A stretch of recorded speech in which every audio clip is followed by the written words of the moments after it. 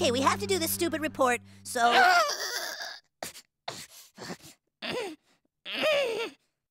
so let's figure out what to do it about.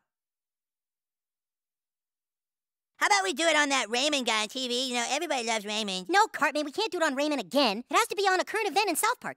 Tweek, do you have any ideas? Ugh, too much pressure. Great, a lot of help you are, kid. The gnomes. What? We can do our report on the gnomes. What gnomes? The underpants gnomes. The little guys that, that come in your room late, late at night and steal your underpants.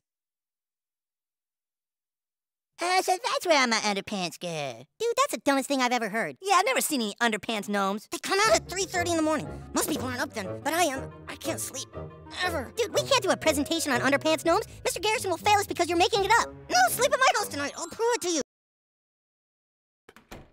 Oh, hello, son. How was your day? That's good. Who are your little friends? What do you mean? We're his oral report buddies. Yeah, we have to stay up all night to write it. We'll have some coffee, boys. I'll brew up another pot for later.